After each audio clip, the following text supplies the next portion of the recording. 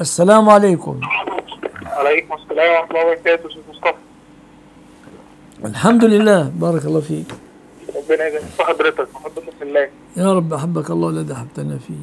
آه، سؤال بسيط. بس أنا كان آه، أخو زوجتي كان حاجز عربية في في توكيل كبير يعني في مصر. المهم كان ده حاجز 10000 جنيه وفي الآخر ما أخدش العربية.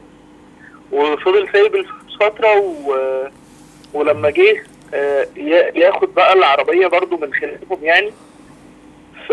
واتفق خلاص على العربية. قالوا إن الحجز ال 10000 جنيه آه، اللي هتحجز بيه قالوا له الحجز ده دلوقتي بقى 12000 ونص.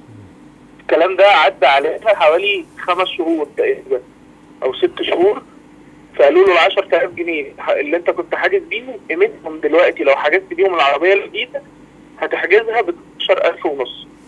يعني قيمتهم زادت 2000 ونص. طيب الزيادة حسبوها له أو عليه أو ماذا لا له. ليه 2000 ونص زياده ال 10000 بتوعه آه، علشان يحجز العربية الجديدة ما بقوش 10000 بقوا 12 ونص. طيب إيه المشكلة؟ المشكلة؟ نعم؟ ما الإشكال الآن؟ هو أعطى مبلغا من المال؟ الفلوس ان الفلوس ممكن يبقى فيها آه، شبهة. الفلوس ال 2000 ونص دول هو حقه علشان هم قالوا له إن الفلوس زادت ولا يتصدق بيهم علشان لا لا حقهم اللي قالوا الفلوس زادت. يجوز رد سداد الدين مع زيادة بدون اشتراط. ده ده مش دين. هم مذبة الدين يعني. تمام تمام. يعني هو آه، 12 ونص ال 2000 ونص حقه عادي يعني. نعم.